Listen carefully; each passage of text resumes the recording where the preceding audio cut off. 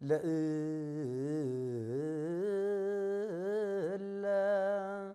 አመ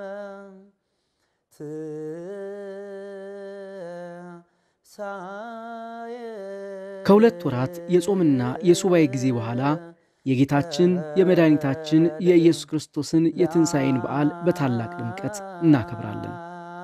ከሞት ወደ ሕይወት ከጨለማ ወደ ብርሃን የተሸጋገርንበት ጠላት ድል ተነስቶ ነፃ የሆንበት ታላቅ በዓል በመሆኑ የክርስቶስን ትንሣኤ ለማብሰር ጻዕዳ ለብሰን ጧፍ አብርተን በደስታና በዝማሬ የአምላካችንን በእኩለ ሌሊት ከሞት መነሳትን እንዘክራለን። ይህ የክርስቶስ ትንሣኤ ለዓለም ሁሉ ምልክት ይሆን ዘንድ በኢየሩሳሌም በጎልጎታ በክርስቶስ የመቃብር ስፍራ ከሞት በተነሳበት ሌሊት በየዓመቱ የትንሣኤ ብርሃን ወይም ቅዱስ እሳት በተአምር ይገለጣል።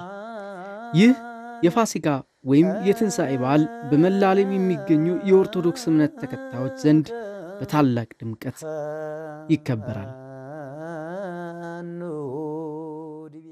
ትንሣኤ ማለት ተንስአ ተነሳ ከሚለው የግዕዝ ቃል የመጣ ነው። የኢየሱስ ክርስቶስን መነሳት ከሙታን ተለይቶ መነሳቱን የምናይበት ትርጉም ነው። የፋሲካ በዓል ማለት ፋሲካ ማለት ፓሳህ ማለፍ ማለት ነው እና እስራኤላውያን በግብፅ ከነበሩበት መከራ በተአምራት ነፃ የወጡበት የፋሲካውን በግ አርደው ደሙን በበራቸው ላይ ቀብተው መልአከ ሞት ግብፃውያንን በኩር በኩራቸውን ሲቀሱ እነሱን ያለፈበት ስለዚህ ሞት እነሱን ያለፈበት ስለሆነ ፓሳ ማለፍ ወይም ፋሲካ ተብሏል።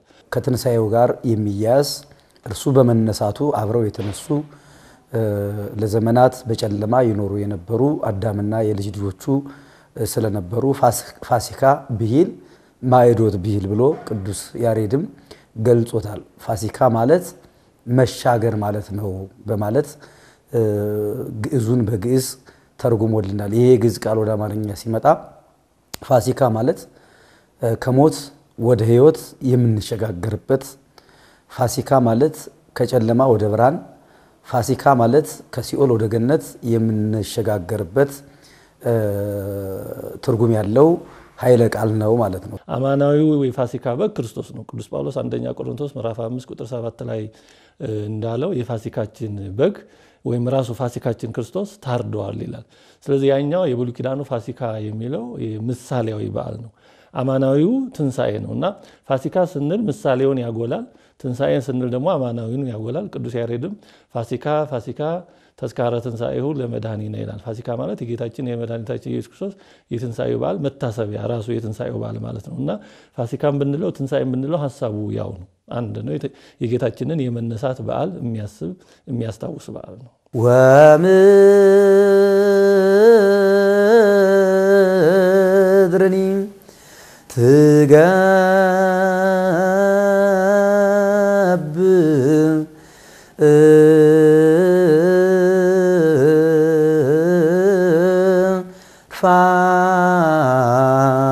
ፋሲካ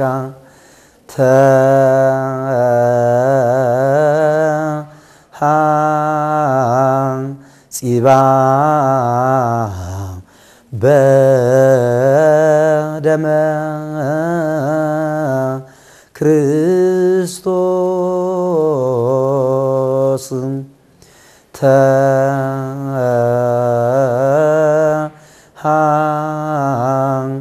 ጺባ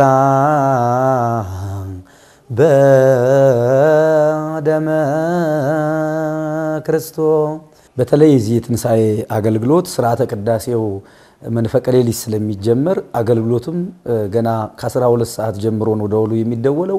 አንድ ሰዓት ላይ ይጀመራል። የተለያዩ ስርዓቶች አሉ።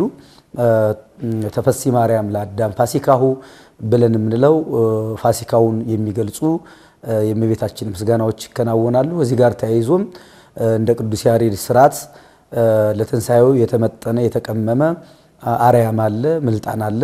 በተለይ በዚህ ቀን የምናስታውሰው ትንሣኤ ከለላመነ ብርሃነ ከፈኑ ዲቤነ ብለን የምንለው ትንሣኤን ለምናምን ለኛ ብርሃንን ላክልን ወደኛ በግጥም መልክ የተቀመጠ የቅዱስ ያሬድ የዜማ ዘርፍ አለ። እስመ ተብሎ ይታወቃል። መድኃኒታችን ኢየሱስ ክርስቶስ በተነሳባት በዛች ሌሊት ልዩ ብርሃን በዓለም ላይ ተገልጧል። እንግዲህ የትንሣኤው ብርሃን የሚለው ከዛ ጋር የተያያዘ ነው።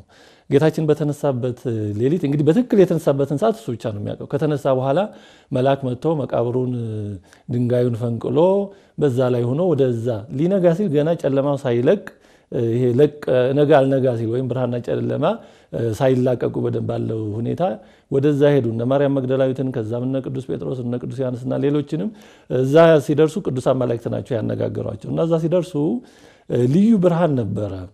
ይህን በምን እናውቃለን ብንል ከሁለት ምንጮች ነው። አንደኛ ከወንጌል እናገኛለን። እንደገና ደግሞ ከልዩ ልዩ የቤተክርስቲያን አባቶች ትምህርቶች እናገኛለን። በወንጌል ላይ ለምሳሌ ዮሐንስ ወንጌል ምዕራፍ 20 ላይ ማቴዎስ ወንጌል ምዕራፍ 28 ላይ ሉቃስም ላይ እንደዚሁ ማርቆስም ላይ የመጨረሻ የመጨረሻዎቹ ስለ ትንሣኤው በስፋት የሚናገሩት ክፍሎች ይህንን ያመለክታሉ። ለምሳሌ ዮሐንስ ወንጌል ምዕራፍ 20 ላይ ምን ይላል? ወበእሁድ ሰንበት ጌሰት ማርያም መግደላዊት በጽባሕ ሀበ መቃብር እንዛዲ ጽልመት ይላል። ገና ጨለማ ሳለ በማለዳ ገና ሳይታይ ወደ መቃብሩ ሄደች ይልና እዛ ግን ከሄደች በኋላ የሚያዩት ነገር በጨለማ የሚታይ ነገር አለ። መቃብሩ ባዶ ሆኖ አይተዋል። አሁን በጨለማ መቃብር የተቆፈረ ውስጥ ያለ ነገር ነው። ላይ መሬት ላይ ያለ ነገር እንኳን በደንብ አይታይም በጨለማ። እነሱ ግን መቃብሩ ባዶ ሆኖ አይተዋል። እንደገና ደግሞ ጌታችን ተገንዞበት የነበረው የተልባ እግሩ ልብስ ከመቃብሩ ውጭ እንዳለ ልክ በመልክ እንደሆነ ስርዓት እንደያዘ ቁጭ ብሎ አይተዋል። ጌታችን በራሱ ላይ ተጠምጥሞ የነበረውም ልብስ እንደዚሁ ለብቻው እንደተጠቀለለ እንደተጠመጠመ ሆኖ አይተዋል። አሁን ይሄ ብርሃን ከሌለ ሊሆን የማይችል ነገር ነው። ምክንያቱም በጨለማ ይህን ሁሉ ማየት አይቻልም። እንግዲህ ይህ ሁሉ የሚያሳየን ምንድን ነው? በዛ ሌሊት ብርሃን ልዩ ብርሃን ነበረ ማለት ነው እና ይህንን የተለያዩ የቤተክርስቲያን አባቶችም በትርጓሜያቸው አብራርተዋል። ለምሳሌ ቅዱስ ጎርጎርዮስ ዘኑሲስ ይህንን የወንጌል ክፍል ሲያብራራ ሌሊት ከሆነ ገና ጨለማ ከነበረ እንዴት ይህን ሁሉ አጥርተው ማየት ቻሉ ይልና በዛ ሌሊት ልዩ ብርሃን በምድር ላይ ተገልጦ ነበር። የትንሣኤው ብርሃን እንግዲህ የትንሣኤው ብርሃን የምንለው ያ ነው። ስለዚህ ያ በዛን ጊዜ ጌታችን በተነሳ ጊዜ የተገለጠው ልዩ አምላካዊ ብርሃን በየዓመቱ በትንሣኤው ይገለጣል። ስለዚህ ትንሣኤ ለአመነ ብርሃነ ከፈኑ ዲቤን የምንለው ያንን ብርሃን ላመኑ ለቅዱሳን ሐዋርያት ለቅዱሳት አንስት ሄደው የትንሣኤ ሁኔታ እውነተኛ መሆኑን መቃብሩ ባዶ መሆኑን እንዲያዩ ያስቻላቸውን ያን ብርሃን ዛሬም በየዓመቱ ትንሣኤ ለምን ላምን ለእኛ በዚች ዕለት ላክልን ብርሃንን ግለጥልን እንላለን። እንግዲህ በየዓመቱ ከሚወርደው ከትንሣኤው ብርሃን ወይም ቅዱስ እሳት ሆሊ ፋየር የትንሣኤው ብርሃን ማለት ነው። ቅዱስ እሳት፣ ቅዱስ ብርሃን፣ የትንሣኤው ብርሃን፣ የትንሣኤው እሳት አንድ ነው እና ያንን የሚያመለክት ነው እና በየዓመቱ ስለሚመጣ ያንን ዛሬም ግለጥልን፣ ያንን ዛሬም አሳየን የሚል ጸሎት ነው። ትንሣኤ ከለእም ለአመነ ትንሣኤ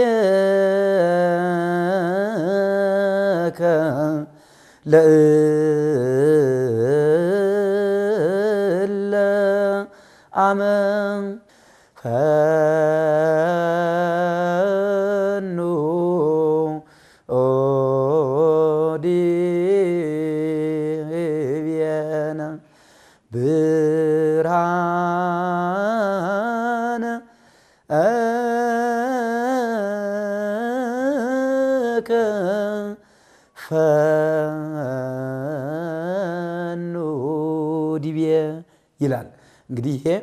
በዕለቱ ከሚዘመሩት ያሬዳዊ ያሬዳውያን መዝሙሮች አንዱ ይሁን እንጂ ሌሎችም ትንሣኤውን የሚገልጹ ያሬዳውያን ዜማዎች አሉበት ማለት ነው። ስለዚህ ስርዓቱ በዚህ መልክ ነው የሚከናወነው። እንግዲህ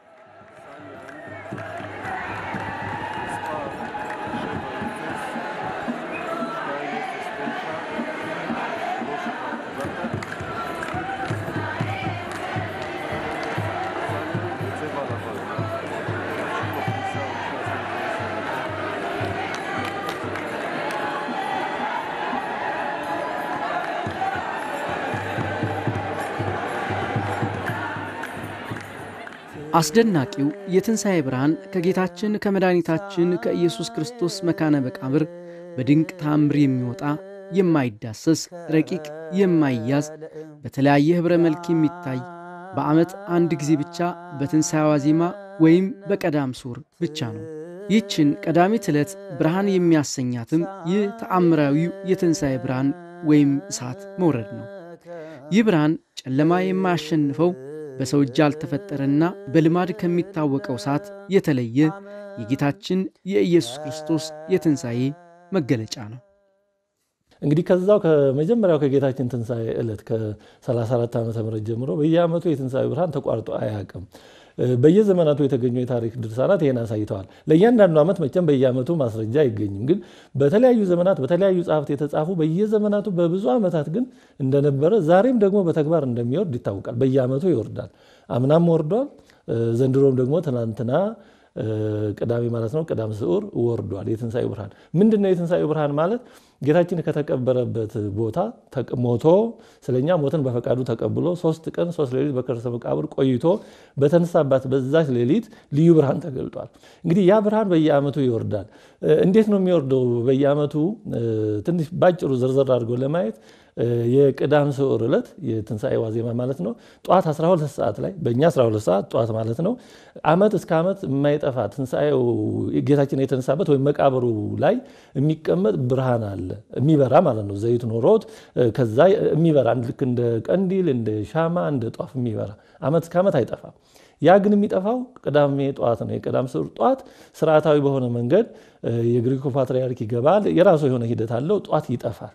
ለሁሉም ግልጽ ሆኖ ይጠፋል። እዛው ተመልሶ ይቀመጣል። ስለዚህ አሁን ከጠዋት 12 ሰዓት ጀምሮ እስከ ቀኑ እኩለ ቀን ወይም 6 ሰዓት ድረስ ብርሃን አይኖርም፣ ይጠፋል። ስለዚህ ቦታው ጨለም ያለ ስለሆነ አሁን ጨለማ ነው የሚሆነው። በዚህ ሰዓት ብቻ ነው ጨለማ የሚሆነው። ከዛ ውጭ መብራቱ አይጠፋም። ከዛ 6 ሰዓት ላይ ጸሎቱ ይጀመራል። ከቀኑ 6 ሰዓት ቀዳም ስዑር ማለት ነው። ስድስት ሰዓት ላይ ጸሎቱ እንግዲህ ጌታ ትንሣኤውን ብርሃን እንዲልክ በምሕረቱ እንዲጎበኝ ለዛ የተዘጋጀው ጸሎት ይጸለያል። ከዛን ጊዜ ጀምሮ እሱ ባወቀ በሆነ ሰዓት ይመጣል። አንዳንዴ ወዲያውኑ ቶሎ ይመጣል፣ ከስድስት ሰዓት ጀምሮ ማለት ነው። አንዳንዴ አንድ ሰዓት ዘግይቶ ይመጣል፣ አንድ ሰዓት ተኩል፣ ሁለት ሰዓት፣ ሶስት ሰዓት ብቻ በዛ አካባቢ ግን ይመጣል። ሲመጣ ምንድን ነው የሚሆነው? አንደኛ መጀመሪያ ያንን ከዓመት እስከ ዓመት የማይጠፋውና በመቃብሩ ላይ የሚቀመጠውን መብራት ያበራዋል። እንግዲህ ሌላው ነገር ሁሉ ከጠፋ በኋላ ከጠዋቱ 12 ሰዓት እስከ 6 ሰዓት ምንም ሳይበራ ጨልሞ ከቆየ በኋላ በድንገት በተአምር ይበራል። ያኔ የትንሣኤው ብርሃን መውረዱ ይረጋገጣል። ከዛ በተጨማሪ ያን ማብራት ብቻ አይደለም፣ ያንን መብራቱን ብቻ ሳይሆን የሚያቀጣጥለው ከመቃብሩ ጌታችን ተቀብሮበት ከነበረው ቦታው ከዛ ከአለቱ ማለት ነው። ከዛ ውስጥ አሁን እንግዲህ ላዩ ላይ የሆነ ነገር ተሰርቶበት እንደ ዋሻ አይነት ሆኖ ነው የሚታየው። ከዛ አይነት ብርሃን ይወጣል። በጣም ሊገለጽ የማይችል እንግዲህ በተለያዩ ጸሐፍቶች በብዛት የሚገለጸው ለየት ያለ አረንጓዴ አይነት አረንጓዴ አይነት ሆኖ ልዩ ህብረ ቀለም ያለው ብርሃን ይረጫል፣ ይወጣል። ከዛ ጌታችን ተቀብሮበት ከነበረው አለት ከዛ ይወጣል።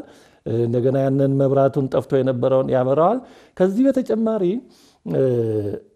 ልክ እንደ ኳስ እንክብል ወይም እንደ ኳስ ክብ ክብ ክብ የሆኑ የእሳት ነበልባሎች በዛ ውስጥ ይንሸራሸራሉ። በአየሩ ላይ በአንዳንድ በቅዱሳት ስዕላት ላይ ይሄዳሉ። እዛ በሚጠብቁት ምዕመናንም ላይ በአንዳንዶቹ በዙሪያቸው በራሳቸው ይዞሩባቸዋል። አንዳንዶቻቸው ድንገተኛ ስለሆነ የሚያቃጥል እሳት እየመሰላቸው እንደዚህ ይላሉ፣ ይጎነበሳሉ። ግን የማያቃጥል ነው። እንደዚህ ሆኖ ለተወሰነ ጊዜ ይቆያል። እንደዚህ እያለ ላይ እንግዲህ ይሄ ክቡን በጣራው ስር እንዲህ እየተንቀሳቀሰ በጣም በሚያስደንቅ ሁኔታ ብዙዎች አገላለጽ እስከ 33 ደቂቃ ነው የሚቆየው ይላሉ። እንግዲህ ይህንንም ብዙ ጥናት አድርገውበታል እና በብዙዎች እንደሚሉ እስከ 33 ደቂቃ ድረስ ያ ብርሃን አያቃጥልም። እጅም ላይ ቢያርፍ ፊትም ላይ ቢያርፍ አያቃጥልም እና በአንዳንዶቻቸው በፊታቸው ላይ ያርፍባቸዋል። እንግዲህ ይህን እግዚአብሔር ለማን እንደሚያደርገው የሚያውቀው እሱ ነው።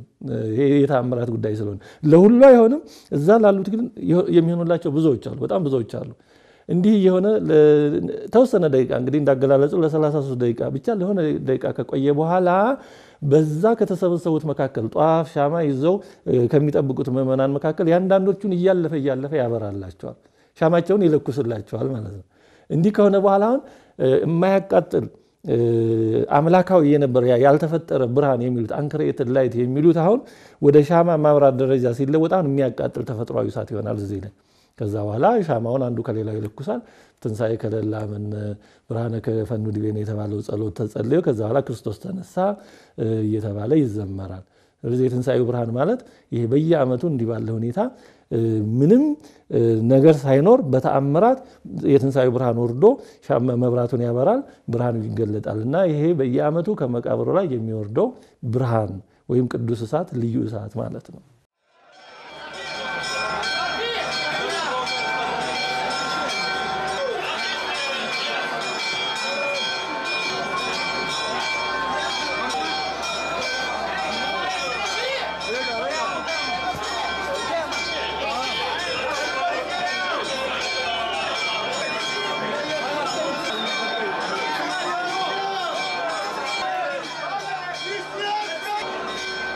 በኢየሩሳሌምም በጌታችን በመድኃኒታችን በኢየሱስ ክርስቶስ መቃብር ላይ ብርሃን እንደሚወርድ መጻሕፍት አስቀምጠውልናል። ለምሳሌ ታላቁ ሊቅ አባ ጊዮርጊስ ዘጋስጫ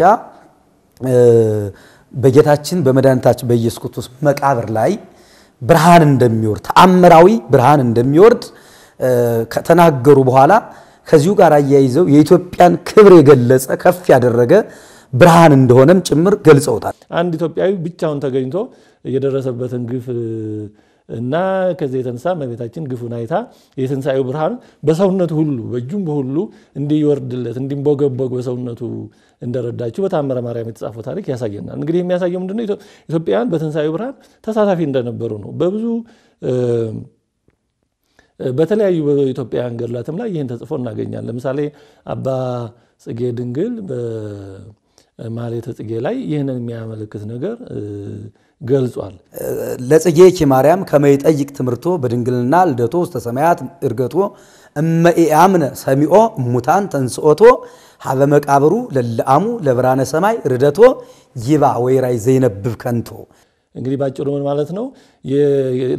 ድንግል ሆይ የልጅሽን መወለዱን በአጠቃላይ ሰውን ለማዳን ያደረገውን ነገር ሁሉ ሞቶ ተነስቶ ወደ ሰማይ ማድረጉን ከወንጌል ከመምህራን የሚነገረውን አላምንም የሚል ካለ እመያምነ ሰሚኦ ሙታን ተንስኦቶ ከሙታን መነሳቱን አላምንም የሚል ካለ ሀበ መቃብሩ ለለአሙ ለብርሃነ ሰማይ ርደቶ ይባ ወይራ ይዘነብ ከንቶ በየዓመቱ መቃብሩ ላይ የሚገለጠውን የትንሣኤውን ብርሃን ገብቶ ይህ እና ይመን ይላል። ምክንያቱም ይሄ ተጨባጭ ማስረጃ ነው። በየዓመቱ ልዩ በሆነ አምላካዊ ሁኔታ ተአምር ብርሃኑ ይወርዳል።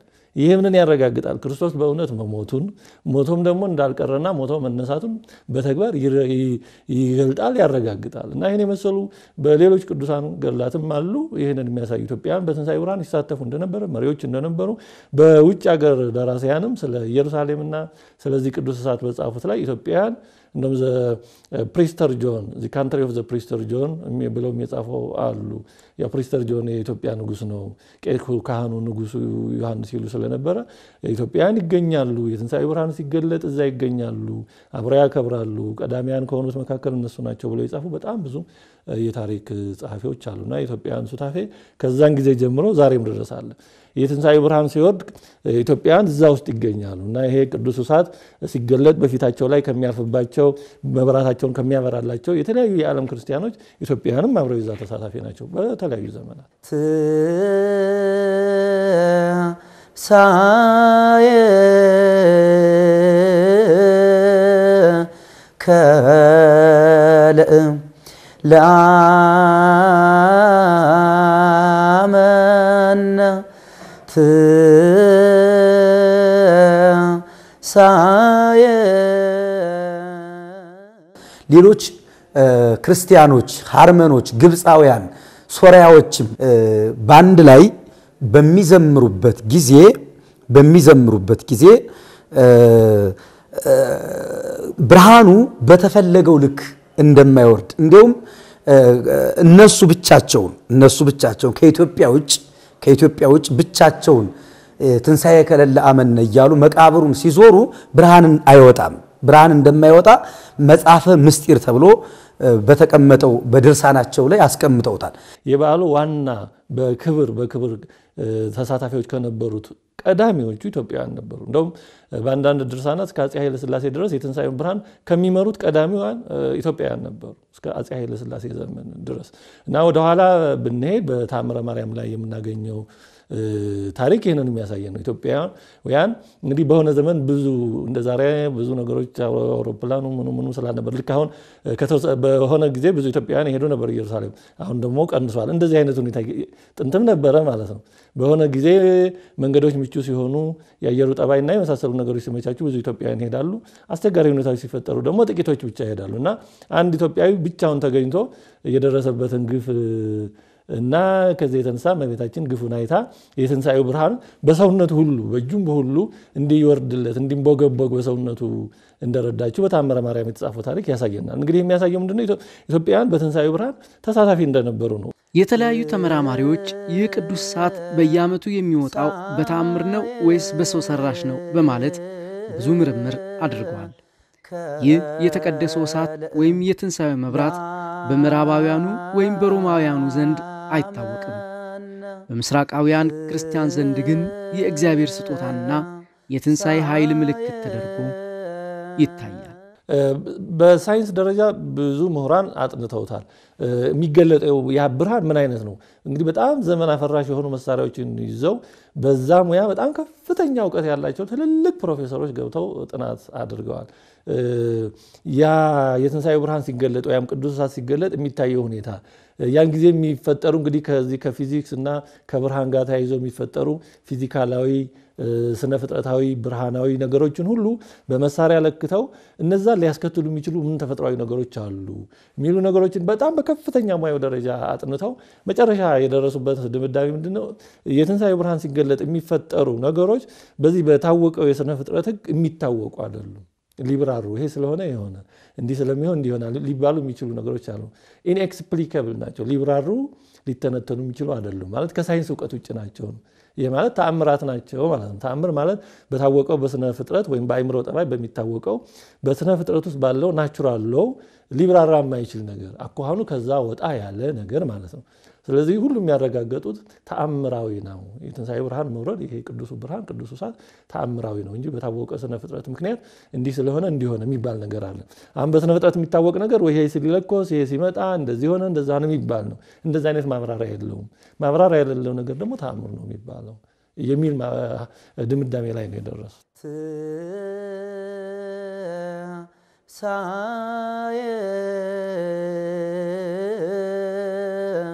ከለእም ለአመነ ትንሣኤ ብዙ የሙስሊም ኤሚሮች እና ባለስልጣናት ለማስቀረት ሞክረው ነበረ። በማፍረስ ማስቀረት የሚቻል መስሏቸው ነበር። አይደለም፣ እውነተኛ ነው። ይሄ ምንን ያሳያል? ክርስቶስ በእውነት ሞቶ ተነስተዋል ነው። በወንጌል የተጻፈው ትክክል ነው ነው ጌታችን በእውነት እንዳለ ስለ እኛ ስለ ኃጢአታችን ሞቶ ተነስተዋል ነው። ስለዚህ የክርስትናን ትክክለኛነት የሚያረጋግጥ እውነተኛ አምላካዊ ምስክር ነው እና እግዚአብሔር ሁልጊዜ ይናገራል። በወንጌል እንደተጻፈው ቅዱስ ጳውሎስ በሐዋርያ ሥራ ላይ እንደተጻፈው እስመ ኢሃደገ ርእሶ ዘእንበለ ሰማዕት ይላል። እግዚአብሔር ራሱን ያለ ምስክር አልተውም ይላል። እግዚአብሔር ሰውን በመጽሐፍትም አስተምሯል። አሁንም ደግሞ በትንሣኤው ብርሃን እያስተማረ ነው። በእውነት ስለ እናንተ ሞቼ ተነስቻለሁ እያለ ነው የትንሣኤው ብርሃን የሚያረጋግጠው። ስለዚህ የክርስቶስ ሞቱ ትንሣኤው የተረጋገጠ ነው ማለት ነው። ምንም ጥያቄ የለውም። የትንሣኤው ብርሃን ይመሰክራል። ምንም ነገር በነገራችን ላይ አሁንም ቢሆን ወደ ትንሣኤው ብርሃን የሚገባ የግሪኩ ፓትርያርክ ነው። ከመግባቱ በፊት እንግዲህ ቅዳም ስዑር ጠዋት 12 ሰዓት ላይ መብራቱ ይጠፋል። ምንም ነገር አይኖርም። ይህንን የእስራኤል ፖሊስ ይፈትሻል። አሁን የሆነ ነገር የሚያቀጣጥል ላይተር ወይ ምናምን ሌላ ነገር ኬሚካል ነገር ይዞ ገብቶ እንዳይል የእስራኤል ፖሊስ በደንብ ነው የሚፈትሸው። ይሄ ምንን ያረጋግጥልናል? ትንሣኤው አምላካዊ መሆኑን ይመሰክርልናል። ሁልጊዜ ለእግዚአብሔር ስራ የማያውቁ ሰዎች ምስክር ይሆናሉ። አሁን በትንሣኤው ጊዜ የጲላጦስ መቃብሩን ማሳተም፣ የአይሁድ ጠባቂዎች ማስቀመጥ ትንሣኤው አማናዊ እንዲሆን ትልቅ ምስክር ነው የሆነው። ምክንያቱም እንደዛ ምስክሮች ባይኖሩ ኖሮ ይህ ገባ የት ደረሰ ማንም ላያውቅ ይችል ነበረ።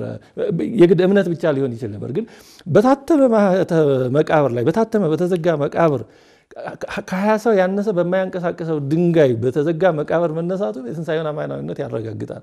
ደግሞ መጀመሪያ የተናገሩት ደግሞ ጠባቂዎቹ ናቸው። በቃ የለም ብለው እና ልክ እንደዛ አሁንም ፖሊሶቹ እየፈተሹ ማስገባታቸው የትንሣኤው ብርሃን አምላካዊ ተአምር የክርስትና እውነተኛነት ማረጋገጫ መሆኑን ይመሰክራል። እና በእውነቱ በክርስቶስ በሞቱ በትንሣኤው የማያምኑ ወገኖች እንዲህ ያንን የማይጠቅም ነገር ትተው ወደ አማናዊ ብርሃናዊ ሕይወት እንዲመጡ የትንሣኤው ብርሃን ይጠራቸዋል።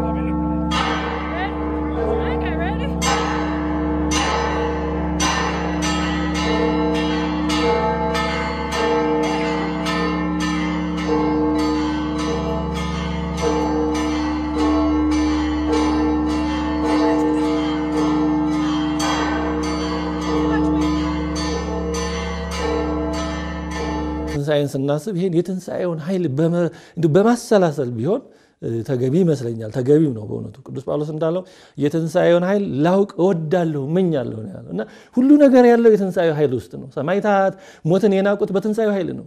ቅዱሳን ጻድቃን የዚህን ዓለም ነገር እንደ ጉድፍ የቆጠሩት በትንሣኤው ኃይል ነው። በቃ እና ትንሣኤው የማይመረመር ሚስጥር ነው፣ ሊገለጽ የማይችል ሚስጥር ነው።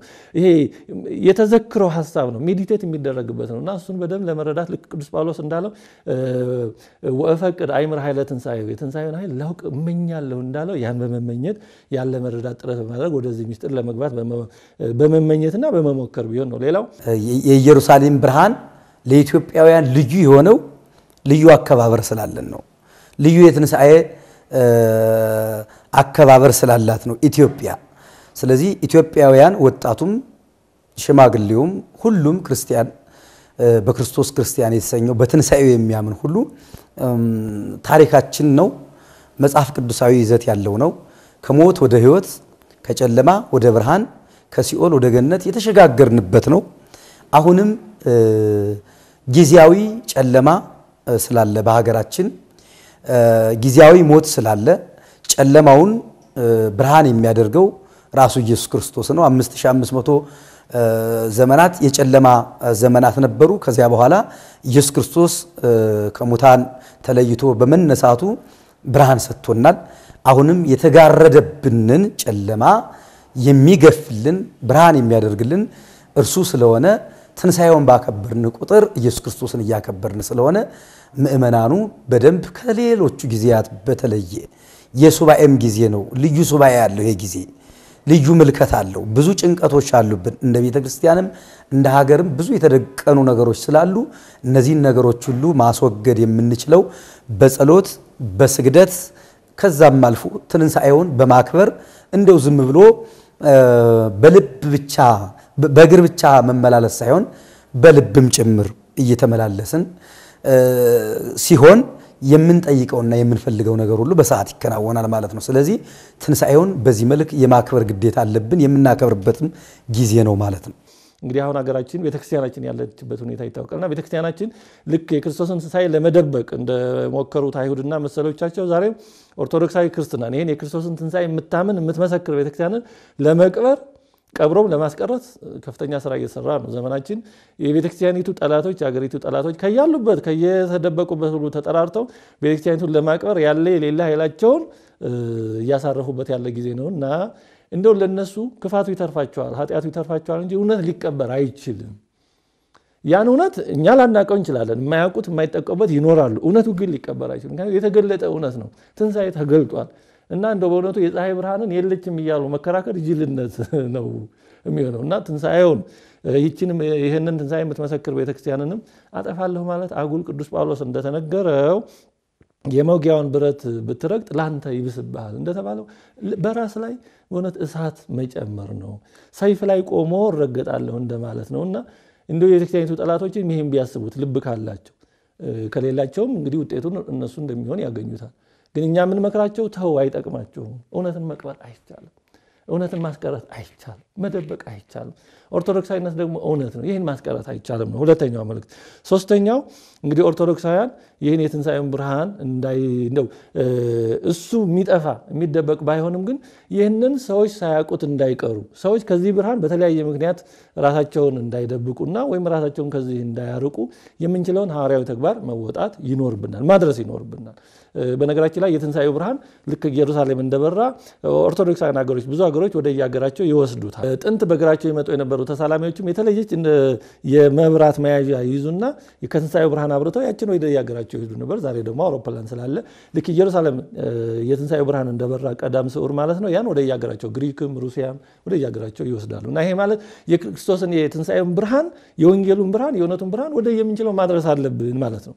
ከዚህ ባሻገር ቤተክርስቲያናችንን ካለባት አሁን ነባራዊ ሁኔታ አንጻር እያንዳንዳችን እውነት ባይሰወርም ግን ከሰዎች ሕሊና እንዳይጠፋ የምንችለውን ማድረግ ይኖርብናል። የትንሣኤው ብርሃን ሊደበቅ አይችልም። ቤተክርስቲያንም ልትሸፈን አትችልም። ግን እኛ ደግሞ የየድርሻችንን መወጣት ይኖርብናል። ትንሣኤ